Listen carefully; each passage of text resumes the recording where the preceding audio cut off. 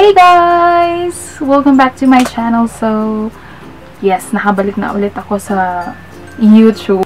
The reason why I have been MIA for almost 2 weeks is dahil nasira ang aking phone. And yes, nagpunta kasi kami ng Boracay 2 weeks ago and accidentally nag-leak yung aking waterproof bag and pa by iPhone. All the files that I needed, mga contacts, pictures, calendar, and messages, and lahat ng mga importanteng file na kailangan ko for my daily activities, for my online business, lahat hindi ko na back up as in. So, nawalan ako ng motivation, gana sa pag-film kasi dahil dun sa nangyari sa akin. Marami akong kailangang asikasuhin more than sa pag-film ng video. So, hindi ko na naasikaso yung pag-film and pag-edit.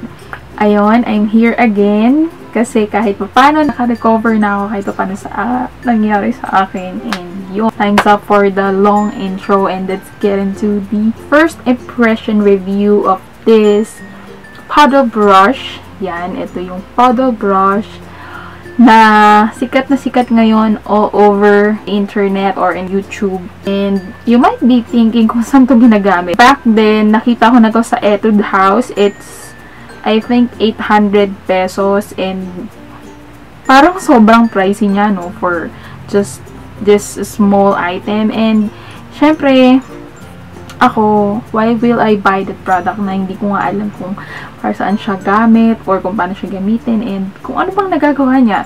And nakita ko kasi sa internet na 160 pesos, 165, basta nasa ganong range yung bentahan niya. And um, nung nagpunta ako ng Divisoria, I saw this at the Glad King store and ayun, bumili na ako para matry ko siya and I will show it to you kung effective nga to na pang brush.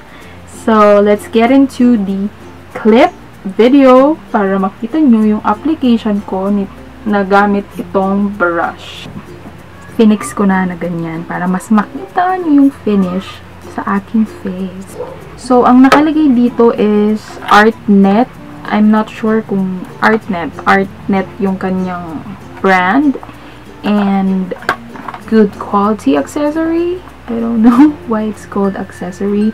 Ang nakalagay dito is trendy, elegance, make the beauty, high quality you can trust. Apply a small, small amount or, of liquid or cream foundation into the back of your hand. Dab with a brush and smooth over the face. Use the edges of the brush to blend the makeup on those hard to reach areas like oh my god so let's start um gagamitin kong foundation today is this one from L'Oreal True Match So, sabi, lagay sa back of my hand. And, yan. Konti muna. Let's use it. Ang lambot niya. Sobrang lambot. Katuwa. At ang cute niya. So, yan. Siya. Um, ilalagay ko muna siya dito sa portion ng aking face. Ito muna.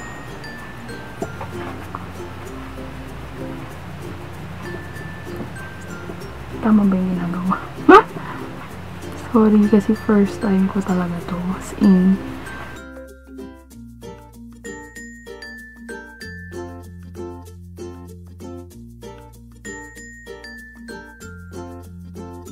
Oh my gosh, ang ganda ng finish niya. Sobrang smooth.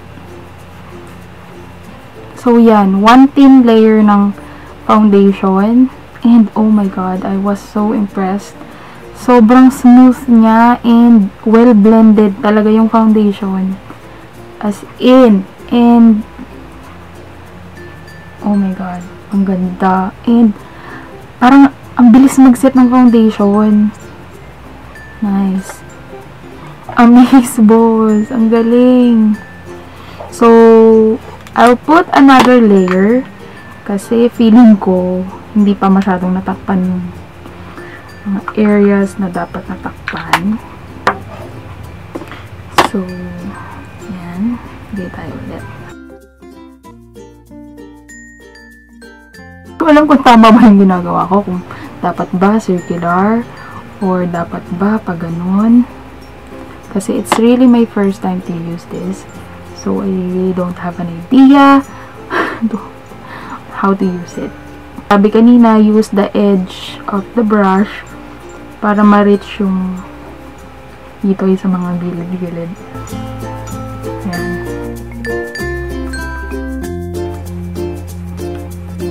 Di siya tricky like the other brushes pag ginamit mo streaky dito sa face. And look, na-even out yung skin tone ko. And parang, um, tawag dito, na-minimize yung aking pores or something. Hindi ako naglagay ng primer or any kind of moisturizer. Wala. As in, totally, look, this is my bare, bare face. And this is the portion that I applied foundation using this paddle brush. So, wow. I, sobrang impress ako ngayon pa lang. Wow, as in, wow. Ang ganda ng finish niya. It's very natural. Parang hindi, hindi mukhang ano, yung hindi mukhang ang kapal ng makeup. I like it. So, ngayon, i-compare natin yung finish niya if I will use a stippling brush.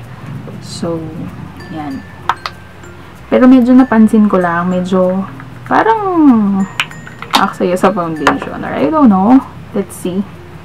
Siguro dahil nag-add ako ng coverage.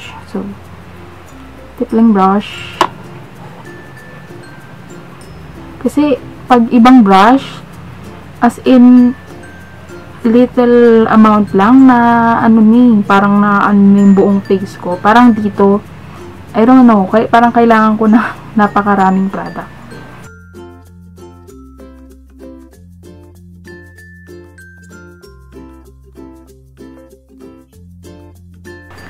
So, yan. For the stippling brush, ganyan. In just one layer. And look, sobrang dami pang natirang foundation. And sobrang konti lang nung amount na nilagay ko. And even out niya na agad or na na ano niya na yung buong mukha ko, nalagyan niya na. Hindi katulad dito parang ilang pumps or ewan ko, ang daming nakita niyo naman kanina, ba? Ilang pump yung nilagay ko pero hindi pa rin niya na lagyan lahat. Siguro dahil ang liit no. Not sure kung napupunta yung product doon sa dito sa mga ano since sobrang siksik ng brush. Yung finish niya um, as you can see, mas mukhang airbrush talaga yung effect nito dahil, of course, it is a stippling brush and feeling ko mas makapal yung finish dito. And dito, very natural. Masa, yung feeling ko dito, sobrang gaan and pag ginanyan ko siya, hindi ko na masyadong maramdaman na may foundation ako dito. Sobrang ramdam na ramdam ko na may foundation ako. Hindi ko na kailangan isit kasi sobrang, ewan ko, parang yung feeling niya parang sobrang soft and sobrang gaan. Pero feeling ko kasi hindi pa masyadong na ano eh. Ayun no, parang marami pang mga areas na nag na nakikita. So, hindi ko to dito parang wow, as in, nakita niyo naman kanina, ba Sobrang dami kong redness dyan. Pero, boom. So, tatry ko pang mag lagay ng another layer dito sa ubusin ko tong natitirang ano, foundation kasi sayang naman. Ko alam kung dahil mali ba yung technique ko. Hindi masyadong nako-cover yung areas na gusto kong lagyan. Ayan. So, I'm done. So, I will I will just do the rest of my makeup and I will get back to you later for my final verdict. I was impressed with this paddle brush kasi ang ganda ng finish niya sa face kanina. As you can see, parang airbrush nga yung itsura niya. Although hindi niya ganun masyadong na-cover yung mga areas na dapat i-cover kasi marami akong imperfection sa face. Pero for me, ang ganda ng finish niya kasi parang mas well blended or very thin yung application and hindi siya mukhang cakey. Um, as you can see kanina, um, dalawa yung ginamit kong brush. So, dito yung paddle brush and dito yung um, yung stippling brush. Um, although, mas mukhang finish as mas mukhang plakado yung face ko dito kanina. But, para sa akin, um, mas mas natural yung yung itsura niya dito eh, in person. Ano ba tawag to? Mas lightweight yung itsura. Pag tinignan mo, hindi halatang halata na naka-makeup ka. Hindi ka to dito parang, yun nga, parang kita mo pag malapitan na yung finish ng foundation, alam nyo na yung itsura niya. And dito, parang as in wala, parang natural lang. As in very thin yung finish niya sa face and ang bilis niya talaga, ang bilis mag-set talaga ng foundation. Pero, the thing na hindi ko masyadong I don't know, hindi ko masyadong nagustuhan dito is parang maaksaya siya sa foundation. Sobrang siksik nung brush, as in yan. Siksik na siksik kasi yung itsura niya. Na-absorb niya yung foundation. Feeling ko lang. Yun. Kaya siguro mas mas maaksaya sa foundation itong paddle brush. But, overall, mas gusto ko talaga yung finish niya dito kasi yun nga, very natural looking and sobrang lambot sa face. Parang, hindi ko talaga maramdam na may foundation. Parang, parang wala. Parang wala. Kato dito, parang ramdam na ramdam ko na may area na to, parang may tendency itong mag-cake mamaya kasi yung ramdam ko yung kapal nung pagkalagay ng foundation kasi stippling brush. Sobrang ganda niya. I like it. That's why siguro kaya maraming nahuhumaling dito sa brush na to dahil sa ganda talaga ng effect niya sa face. And sobrang lambot niya. Sinasarap-sarap niya gamitin as in, mm, boom.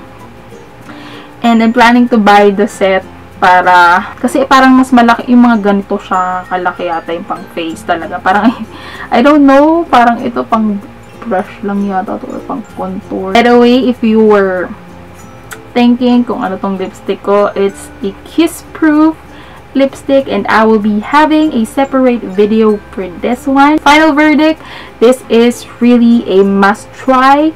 So, if you are planning to buy this and you're really hesitant kung effective ba to or maganda ba siya, yes, superb. So, go ahead, bili na kayo. Ganda. As in. So, hindi kayo magsisisi na pag bumili kayo nito. So, yun lang. So, if you find this video helpful, please hit the thumbs up button. Leave a comment if you have tried this product and let me know your thoughts about it. And of course, don't forget to subscribe to my channel. Simply click that red button right there. So that is it guys. See you again in my next video. And may your cat liner will always be perfect. Bye!